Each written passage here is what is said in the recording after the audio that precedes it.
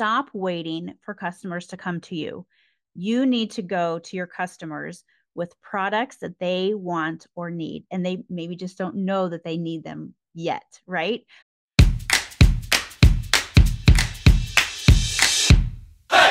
My name is Kimberly Turner, and I love all things baking and business. I went from having a home based bakery to opening a storefront in less than five months, which I successfully grew for nearly seven years. We moved our family back to our home state of Iowa, where I restarted my home baking business and started slinging cupcakes at local farmers markets from my renovated cupcake camper. I'm sharing the strategies and services that I use to grow my bakery year after year that you can implement to reach the goals that you want to achieve in your own baking business. Have questions on how to get started or feeling stuck and don't know how to grow? Stick around. I have so much to share. This is the Hey Cupcake Podcast.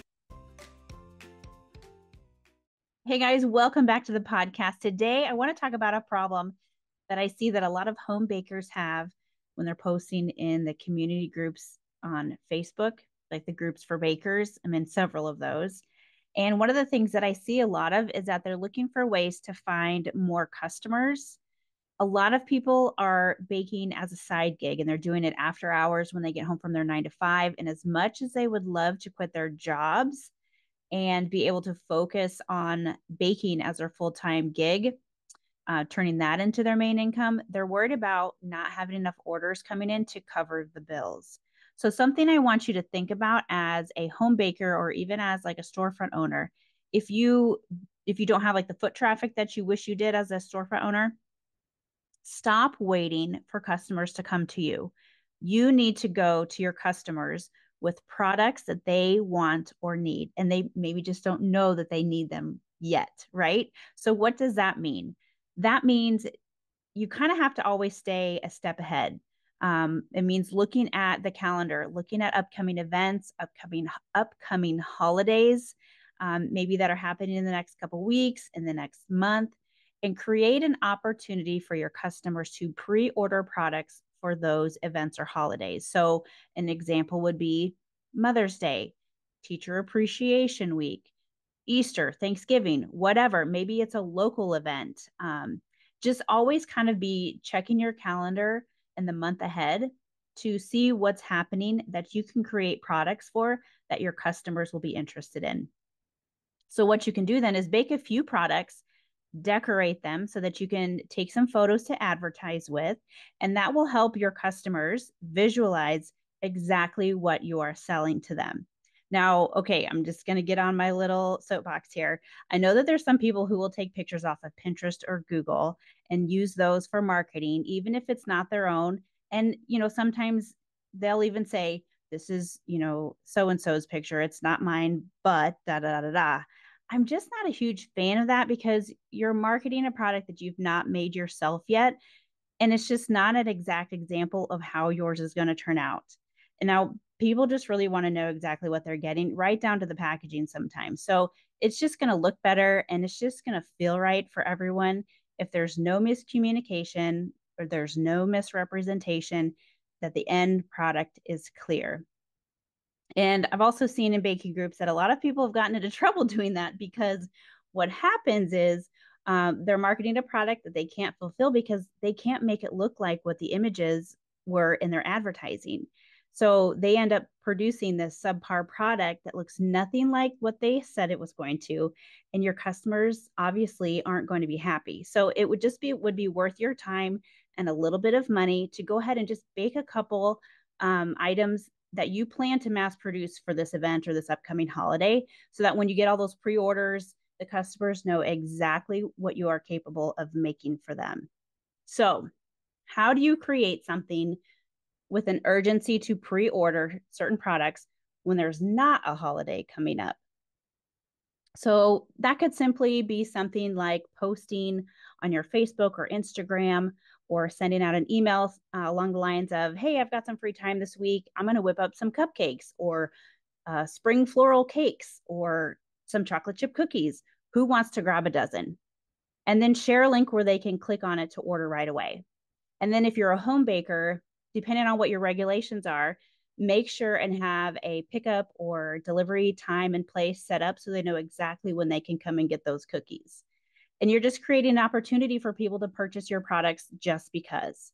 Another point I want to make is that when you're thinking of products to offer your customers, keep it simple. Um, when coming up with your holiday offers, don't create too many options or products for them to choose from because what you don't want to happen is for you to offer like 10 different products like mini cupcakes, regular cupcakes. You can get those in six packs or you want a four pack. Maybe you want a dozen. You want some chocolate chip cookies? How about frosted sugar cookies? Six inch cake or four inch cake? And then you start putting them in different bundles. So, first of all, that's too many choices for your customer to choose from.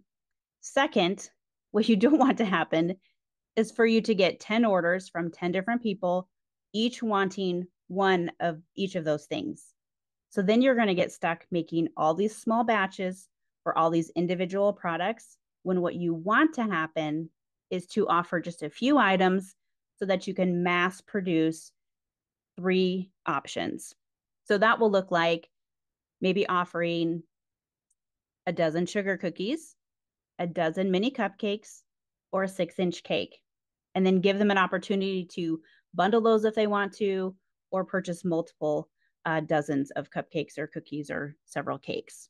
So that way, when it's time for you to start baking, you're not making 17 different mini batches of products. You can definitely maximize your your time of making the batter, making the buttercream, baking, decorating if you're just doing multiple of the same product, of the few products.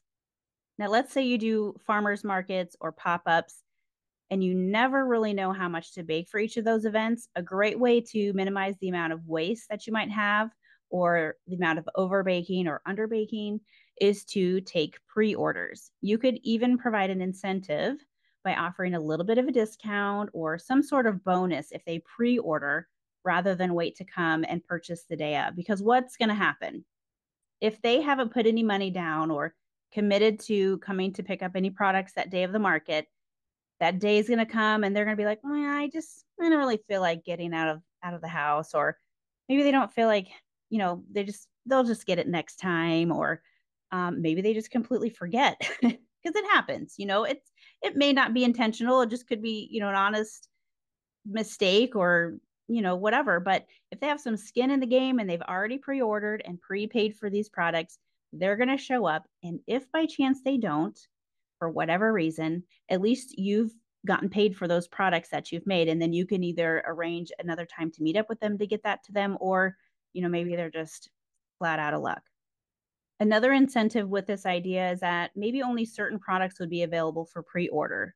So if you offer something that's more in demand, but they need to pre order that, they will absolutely do that rather than waiting for the chance to snag it the day of. So also, you could mention that you're only making a certain amount but if you want to uh, guarantee that you can get some, you can pre order and I'll set some aside for you. Another example let's say you have a specific cupcake flavor, um, but maybe you don't make it very often and people love it. So the only way they're going to guarantee that they can get it is if they pre order it. And that way they will be guaranteed that flavor when they come to pick it up because they've pre ordered it. So I hope this gives you some inspiration, gives you some fun ideas so that you're, you're not just sitting around waiting for your email to ding with uh, order requests or waiting for your phone to ring with customers asking for products. You can go to them with options and buying opportunities. So let me know was this helpful? Leave me a review, share this with your baking friends, and I will see you on another episode of Hey Cupcake Podcast. Thank you so much for listening. Make sure you subscribe to the Hey Cupcake Podcast.